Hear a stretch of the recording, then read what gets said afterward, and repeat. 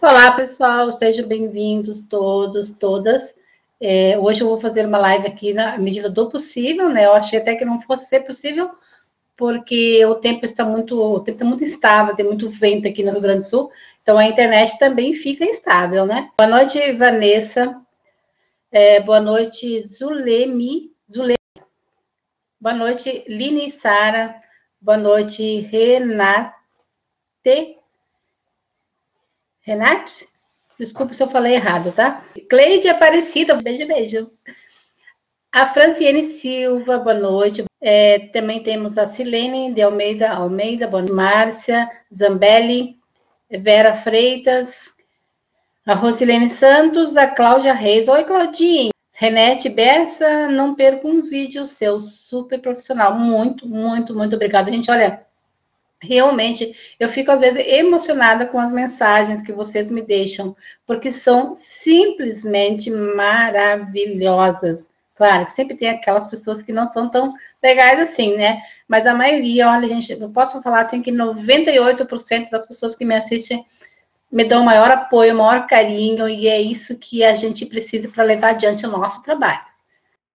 A Lucy Carneiro, a Ani Rodrigues, a Rosilene Santos, já falei, né? Transição para os grisalhos, como cuidar? É, Karen Beltrão, oi, gosto muito dos seus vídeos. Muito obrigada também, Karen. Rosilene, bom, a primeira pergunta tua, transição para grisalhos, como cuidar? Eu tenho um vídeo já no canal, tá, é, Rosilene, falando sobre como cuidar de cabelos brancos, tá? Na hora que você resolve assumir os seus cabelos brancos, a primeira coisa que você tem que fazer é começar a cortar aquela parte que tem química, né? Para poder você realmente ficar somente com a parte que está natural e que está branquinha. Depois disso, não é difícil cuidar, não, viu? É super fácil e eu tenho um vídeo no canal aí. Se você quiser, você pode deixar uma mensagem, qualquer vídeo meu aí hoje, que eu te mando o link dos vídeos que eu tenho uh, falando sobre o cabelo branco. Cleide Aparecida, gostaria de saber se posso pintar os brancos com 8.0 e fazer tonalização com 8.1. Com certeza, com certeza que pode. Se você tem, aonde você tem mais de 50% de cabelos brancos, você vai fazer a pré-pigmentação, como eu sempre ensino aqui nos vídeos, tá? Então, você vai pegar o 8.0 puro, sem OX nenhuma, vai aplicar onde tem mais, que normalmente é aqui, né, nessas regiões frontais, uh, uh, aqui na região da frente, né? E daí, então, você vai aplicar com a pincelzinha tinturinha pura. Não precisa você fazer uma de, um depósito de tinta e sim passar. E depois, em seguida, você vai pegar, então, como você usa 8.0, você pega a própria 8.0, mistura com a água de 20 volumes e aí passa de novo em, to, em toda a raiz, né? E depois, para tonalizar, é, você vai lavar, condicionar esse cabelinho e aí sim você vai misturar é, o 8.1 com a água oxigenada de 10 volumes ou de 5 volumes, tá? Que hoje em dia também tem de 5. E daí você pode até misturar com uma máscara e aplicar é como se fosse uma hidratação, mas na verdade você está fazendo uma tonalização, começando sempre pela raiz, que é a parte mais amarela que vai ficar no cabelo, né? E vai massageando, mexe por mexe, coisa e tal, vai ficar no final um cabelo super bonito. Mas quando nós usamos um, uma, um tom, é sempre bom tonalizar com um tom acima. Então, por exemplo, 9.1 para ti seria ideal. Cláudia Reis, estamos junto e misturada. Isso aí, guria. Está aí. Tamo junto, tchê. A Cristiane de Oliveira Juliana falou boa noite. Qual é o nome do remédio que compra na loja do PET para cabelo crescer? Hum, Antigamente eu tinha um vídeo aí que falava sobre esse produto, mas depois acho que eu retirei do ar, tá? Mas é monovinhar. Monovinhar é uma concentração de vitamina A que você compra e coloca no shampoo. É, eu acho que eu ainda tenho alguma coisa assim de shampoo bomba, né? Daí você coloca no shampoo e vai lavando seu cabelo com esse produto, tá? Valda Lima Silva, gostaria de pintar meu cabelo com essa cor. Com a minha cor? Bom, o meu cabelo é um processo, né? Não é uma cor, assim, exatamente. É um processo, é um monte de coisas junto, né? Tudo junto e misturado, como diz a Claudinha aí. Pretinha, a Franciane Silva fala, Pretinha gostaria de saber porque você me diz é, curso de colorimetria à distância, tenho vontade de fazer, mas não sei se vou aprender. Como estar em uma escola? Me ajudem. Bom, Franciane, a melhor escola do Brasil que existe para cabeleireiros é o SENAC, ainda. Mas já existem outras escolas maravilhosas também. Eu não aconselho fazer a distância, porque nós temos que colocar a mão na massa, viu? Você tem que fazer presencialmente, entendeu? Não tem como fazer, porque, por exemplo, eu dou todas as dicas que uma pessoa poderia aprender. Claro que tem coisas que eu daria em cursos. Se fosse online, por exemplo, eu pense mais tarde, quando eu parar de trabalhar, quando tiver mais tempo, em fazer um curso online para vocês aqui. E, claro que teria que ser vendido, teria que me pagar uma taxinha, uma coisa assim. Onde é claro que daí eu vou falar abertamente tudo que eu posso falar. Em vídeo não dá para falar tudo, porque eu não posso escolher quem pode ver meus vídeos e quem não pode. Como eu já recebi mensagens em vídeos onde eu estava fazendo champuzada, por exemplo, no meu cabelo, a pessoa me escreveu assim: fiz isso no meu cabelo e meu cabelo caiu todo. Então, como que eu vou assumir uma responsabilidade de ensinar você a descolorir seu cabelo em casa, fazer isso, fazer aquilo, se você é, vai fazer lá de qualquer jeito, não sei o histórico do teu cabelo, e aí depois você vai me dizer que eu sou a culpada, quer dizer, você fez aquilo que eu falei e o seu cabelo caiu todo? Uh -uh. Em meus vídeos, você não encontra uma dica sequer que eu estou dando errado. Eu sempre estou dando as dicas e falando quais são os cuidados que você deve ter. Então, é difícil você falar no YouTube assim abertamente para o público e dar todas as dicas. Tem que sempre meio que ficar atento a quem está fazendo em casa, né? Eu quero ajudar quem está em casa e muitas vezes não tem condições de ir num salão de beleza, mas também não posso dizer tudo que você pode fazer e as pessoas saem fazendo errado, entendem errado. Karen Beltrão, beijinhos, boa noite. Aqui em Portugal, já quase uma hora da manhã, meu Deus do céu. Beijo para Portugal, tudo de bom aí. Eu sei que agora aí é muito tarde. Luci Carneiro, é, meu couro cabeludo coça muito quando eu passo a tintura, esteja ele limpo ou sujo. O que devo fazer para não ter. Assim, ó, é sempre bom deixar o couro cabeludo sujo quando vamos aplicar uma tintura. Mas isso não quer dizer que a tintura vai pegar melhor, tá? Tirando essa parte, isso não existe. Apenas acontece quando uma pessoa tem muita alergia, dá muita coceira, é bom que esteja com o cabelo oleoso para proteger um pouquinho mais. Mas, é, quando a pessoa sente coceira, muita coceira, é sinal de que é problema na tintura, na água oxigenada que ela está usando, tá? Então, você troca, troca tudo. Compra uma outra água, compra uma outra tintura, Pague bem mais caro se for possível, mas vai trocando até você não sentir mais isso. Tá, Cleide? Você entendeu? Perfeito, muito obrigada. Eu que te agradeço. Um beijão. Eliane Rabelo, Vatirene Santos. Boa noite, Pretinha. Eu passei a coloração 6.0 e 6.1. Deu um tom que não gostei. Meu cabelo estava no tom quase chocolate. Eu gostaria tom mais escuro, que não fosse preto. Bom, Chocolate vai depender da primeira, da primeira, do primeiro número que você está usando. Temos chocolates a partir do 4. Por exemplo, 434 é chocolate, 477 é chocolate. Nós temos o 534 que é, que é chocolate, nós temos o 577 que é chocolate, e tem algumas outras marcas que mudam a numeração, mas também que é chocolate. E temos a partir do loiro escuro também, temos o 634, o 677, são tudo meio marrom, tudo vai depender, tudo vai depender do pigmento natural do seu cabelo, tá? A tintura é uma coisa muito, muito complexa. Então, não adianta você chegar para mim e dizer assim, qual é a cor do teu cabelo? Eu quero igual. Não tem, gente. É, vai depender qual é a pigmentação, a quantidade de melanina que tem o teu fio, entendeu? Quais, quais são os processos químicos que tu já fez no teu cabelo. É uma coisa de louco, um monte de coisas que nós devemos levar em consideração. Mas marrom, é, você pode usar a partir do 6. Se você falou ali que usou, usou o 6 e o 6.1 e não gostou, O que, que aconteceu quando você usou o 6 e o 6.1? Você usou o 6.1. 6 mais 6 é 12. Quando, como você usou dois tons, é dividido por 2. 12 dividido por 2 é 6. Então, você usou o 6.1, que é um loiro escuro acinzentado. E o marrom do 6 é o 634, o 677. O marrom ele pode ser 6.7, como pode ser o 6.77. Qual é a, a, diferença que existe entre é, alguma coisa lá, ponto 7, e alguma coisa, ponto 77? É que daí o marrom está mais intenso dentro da, da tem um, um, um pigmento maior de marrom dentro daquela cor. Então, se você usar um 5.7, é marrom também. Agora, se você usar 5.77, é um marrom um pouquinho mais intenso. É Irian Saladino. Saladino. É, boa noite, Pretinha. Tudo bem? Tudo bem, meu amor. Tenho um cabelo platinado bem curto e gostaria de passar o loiro pastel. O que você me indica?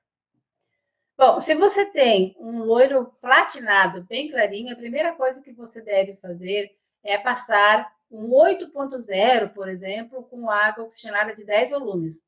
Lava o teu cabelo e passa. Ele vai ficar douradinho. Aí você então vai passar um loiro pastel. Você vai numa loja de cabeleireiro e escolhe lá o tom que você quer usar, porque muitas vezes você está enganada, não é bem aquele que você queria. Então você olha lá o tom que você quer e passa. Então, mas sempre quando nós queremos sair do platinado, a gente deve, deve primeiro amarelar esse cabelo, deixar ele dourado, tá? Sempre para escurecer, nós devemos deixar um cabelo dourado, amarelo, para depois nós escolhermos então a cor que nós queremos escurecer. Levemente ou bastante. Silene de Almeida Almeida, é verdade que o óleo de coco desbota o loiro? Não acho. Eu uso óleo de coco, óleo de rícino bastante. O que desbota o loiro, gente, é assim, ó. É, por exemplo, eu, eu hoje estou com o cabelo. Eu, oh, gente, hoje eu não fiz escova, eu não fiz nada. Eu simplesmente lavei meu cabelo agora à tardinha e não fiz nada nesse cabelo. Então ele não tá. Tá meio feio aqui, mas ele tá acidentado, tá? O que que acontece? Esse pigmento acinzentado, sempre quando a gente tonaliza um cabelo, etc e tal, ah, esse tom ele é muito artificial, então ele sai muito facilmente do nosso cabelo, tá? Então, quando tu vai lavar um cabelo, ele vai, se ele tá com tons artificiais, ele vai fazer o quê? Ele vai desbotar. Cada vez que você lava, desbota. Cada vez que você lava, desbota. Então, não é o óleo de coco, o óleo de rícino que vai desbotar o cabelo.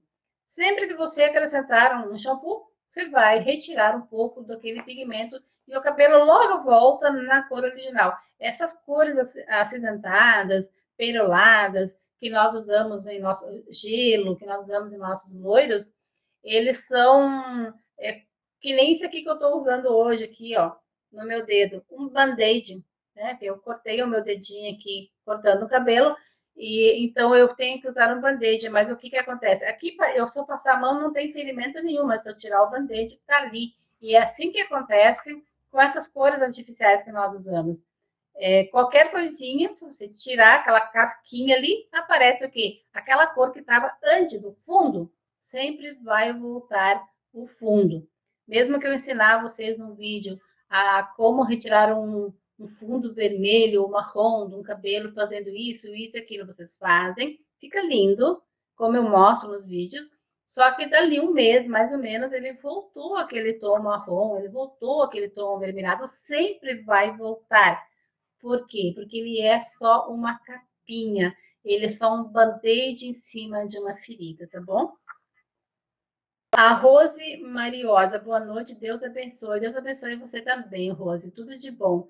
É, Cristiana de Oliveira Giulia, Giuliatti, é, obrigada por responder, parabéns pelos vídeos. Eu que agradeço a companhia de todos vocês. Renete Bessa, na verdade, todas as dicas que você ensina, faz, todas deram certo. A dica de cobrir cabelos brancos, muito boa. E é muito bom poder ensinar e poder ajudar cada um que precisa das minhas ajudas aqui no canal. Silmara Ferreira, olá, boa noite. Boa noite, Silmara, tudo bom? Luci Carneiro, obrigada, tá ok? Eu que te agradeço. A Silmara, já usei o 71 com 6.0. Meu, meu cabelo continua vermelho. Quero mais claro, sem vermelho. É, como é que eu faço? Então, é o que nem eu tinha falado agora há pouco, né, Silmara? O fundo vermelho, ele sempre vai aparecer, viu? Você pode tonalizar, tonalizar, tonalizar, e ele vai aparecer a qualquer momento. Porque é o teu fundo de clareamento. Quando a gente faz um fundo de clareamento, ele fica ali insistindo. Então, que nem o meu cabelo, ele, o fundo dele está amarelo, amarelo, amarelinho. Algumas partes estão mais avermelhadinha, porque eu estava usando cobre, eu fui descolorindo. Então, tem partes do meu cabelo que ainda representa, mesmo no sol, alguma coisa avermelhada. Então, qualquer tonalizante que eu usar, ele sempre vai igual voltar a representar aquela cor. Então, o que você tem que fazer? Se você está com o cabelo com fundo avermelhado e você não está gostando, você tem que retirar esse pigmento. Tá? Então, essa é a primeira dica tem que retirar esse pigmento de alguma forma. Então, você começa fazendo mechinhas aqui e ali, vai retirando. Quando você conseguir retirar esse pigmento e o teu fundo ficar um laranja ou um amarelo, então você já mudou o fundo de clareamento. Aí você já começa a tonalizar com outros tons ou com o mesmo tom, já ficará um outro resultado. Line é, Pretinha linda, como sempre, arrasando nas suas explicações. Você que é amor, Line. Beijinho, beijinho. É Rosinete Aires. Boa noite, minha querida Pretinha. Eu adoro esse carinho de vocês, gente. Como vocês são, são fofas. Valdirene Santos, Pretinha, quero passar um tom quase na cor da atriz da novela Dona do Pedaço. Não assisto, viu, gente? Eu não tenho tempo para televisão. A dona do pedaço da Juliana queria que esse. Uh, tá, ah, eu acho que eu vi ela no MSN, a Juliana Paz. Ela tem um cabelo marrom, acho, né? Com as mechas, se eu não me engano. Então, para fazer esse tom, tu tem que, que fazer então um fundo marrom, aquele marronzão lá, pode, que eu tenho um vídeo aqui no canal ensinando como ter um marrom perfeito, e depois então fazer umas mechas, tá? e sonhar com aquele cabelão dela, que é lindo, né?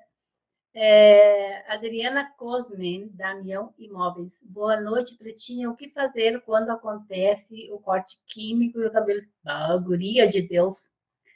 Não tenho o que fazer, viu, meu? Quando chega a esse ponto de ter o corte químico, não tem mais nem hidratação que faça recuperar esse cabelo, viu?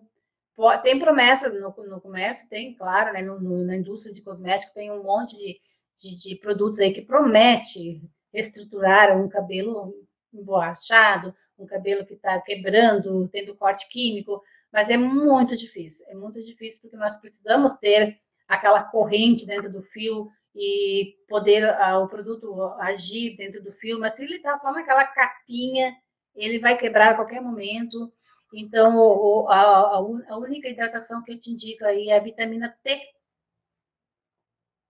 que é tesoura, viu? Minha filha, não tem outra coisa mesmo, não tem, viu? Juro.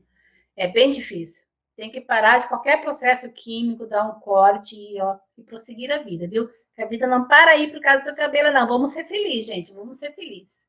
Simara Freitas, uso tonalizante, ok, mas é, funciona do mesmo jeito, viu?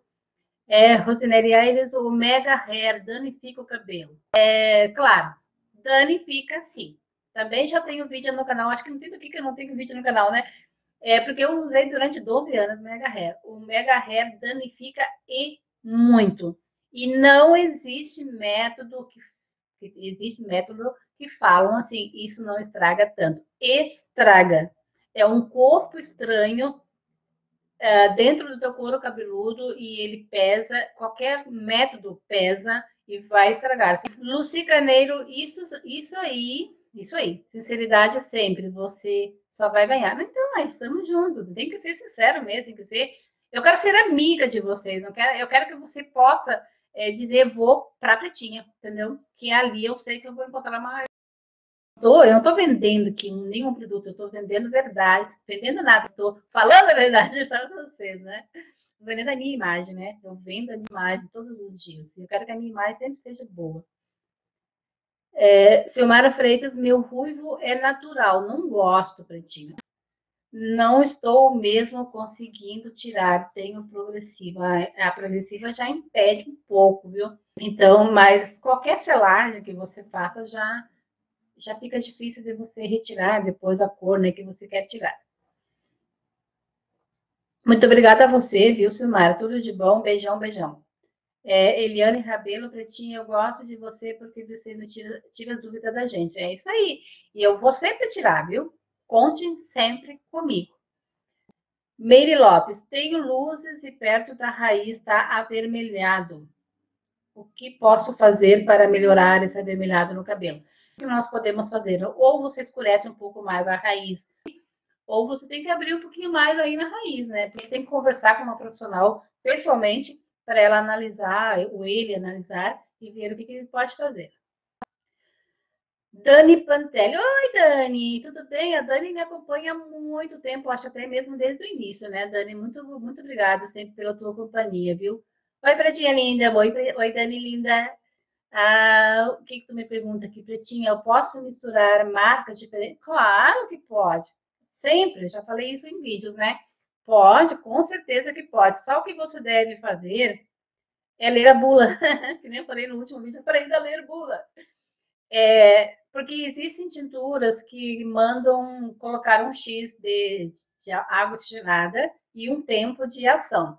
Outra manda um, uma coisa completamente diferente. Então, você não deve misturar duas tinturas que têm o tempo de ação e a quantidade de OX muito diferente, tá? Então, você tem que procurar usar as que mandam a mesma coisa, que normalmente é tempo de ação 40 minutos e oxigenada um por um, ou um por um e meio, ou sabe? Assim, mais ou menos, elas são parecidas. Então, só não pode usar quando é muito diferente.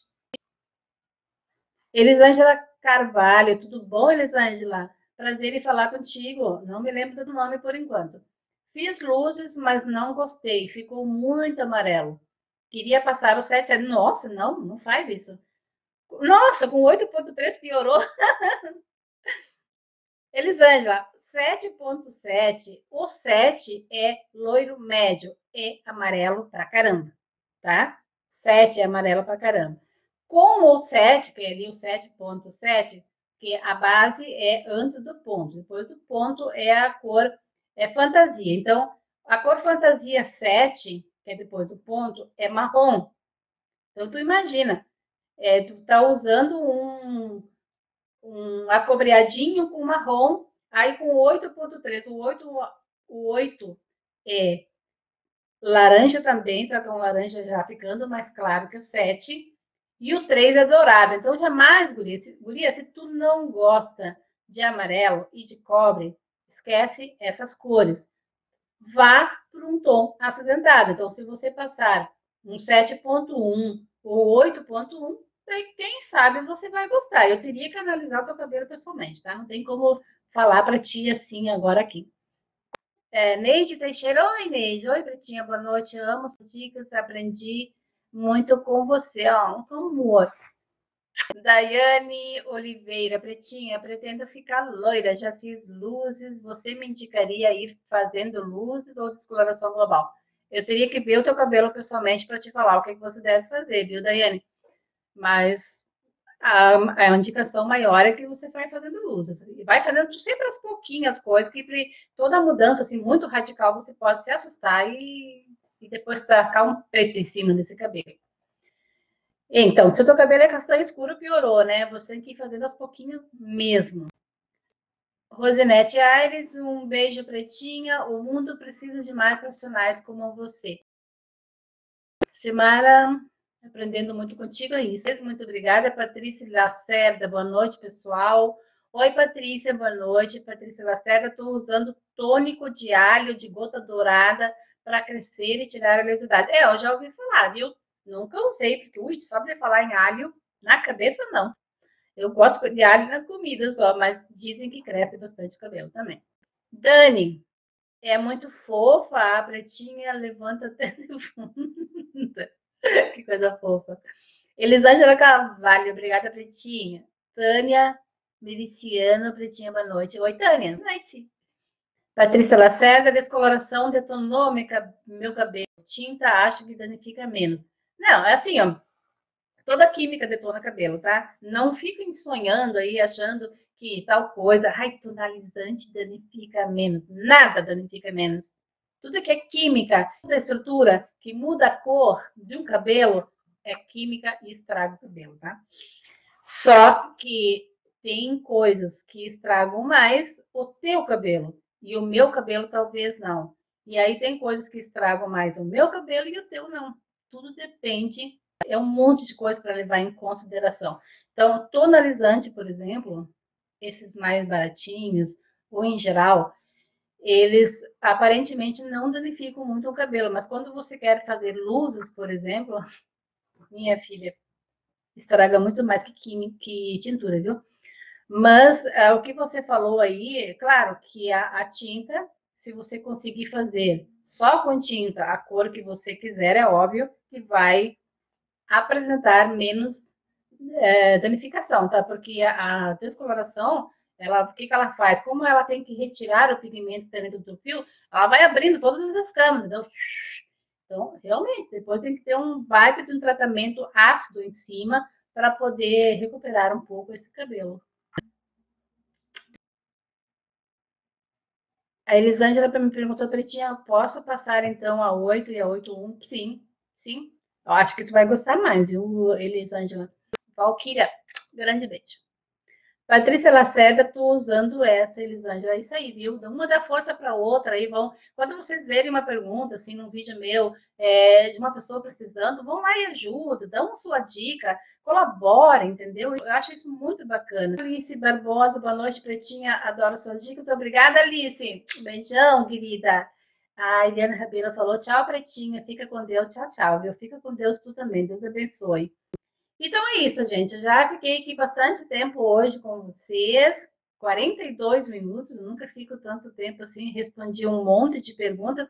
A minha lâmpada virou até para o outro lado lá, ficou meio escuro aqui meu vídeo. Mas é isso aí. Jamile chegou agora. Oi, amor, tudo bom? Lili, qual seria a tonalidade de um loiro claro manteiga? Hum? Ah, Aline, depende do fundo do teu fundo de clareamento, porque ah, o que acontece, Aline? Muitas vezes você pega e compra uma cor na loja achando que aquela tintura vai ficar aquela cor no seu cabelo. Mas como o fundo de clareamento do teu cabelo não permite revelar aquele tom, ele não vai ficar. Tá? Então, é, esse é o grande segredo da textura, da colorimetria em geral. Tudo depende do teu fundo de clareamento. Então, você vai numa loja, tu pega uma cartela de tinta, escolhe a tua cor. Aquela cor, ela só vai se revelar é, se for dentro de loiros, ele só vai se revelar se o teu fundo de clareamento for 9 ou 10. Se não, esquece. E os vermelhos só vão se revelar se o teu fundo de clareamento for 7 ou 8. Tá? Então, teria que fazer um curso com vocês para ensinar todos esses princípios, tá? Porque é complicado, não é fácil mesmo. Bem-vindo ao canal da Pretinha, amor. É, Daniele, parece que nós está na sala com Pretinha, só faltou chimarrão. É verdade, tchê. Só faltou o chimarrão e eu estou com frio. Beijo, Jamile. Ah, você é diva, diva é você. Muito obrigada, meus amores. Jamile Braga queria tirar o tom acobreado do castanho. É, depende do que, que se chama de tirar, né, Jamile? Tirar. Tu quer tirar para escurecer teu cabelo e sumir com o tom acobreado ou você quer clarear esse tom acobreado? Aí você teria que descolorir mais, viu? Aonde está o, o acobreado. Mas então tá, gente. Grande beijo no coração para vocês, todos que me escutaram nessa noite tudo de bom. E eu conto sempre com vocês aqui no canal. Qualquer coisa, estou aqui para esclarecer dúvidas, tá? E a gente vai fazendo lives aí, a gente vai fazendo apresentações gravadas ou não. O importante é nós estarmos juntos e podermos nos entender sempre em cada bate-papo, tá bom? Sim, eu vou fazer mais live, tá? Beijo, beijo, tudo de bom. Fiquem com Deus. Desculpem qualquer coisa, qualquer brincadeira aí, tá bom?